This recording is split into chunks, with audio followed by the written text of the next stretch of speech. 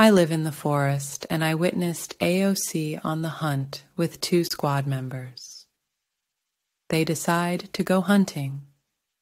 While they are in the field, they stumble across a set of tracks.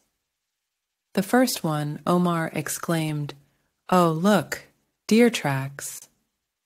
The second one, Rashida said, Well, those are definitely moose tracks.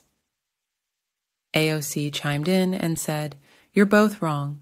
Those are the biggest bear tracks I've ever seen. They started arguing about who was right and who was wrong.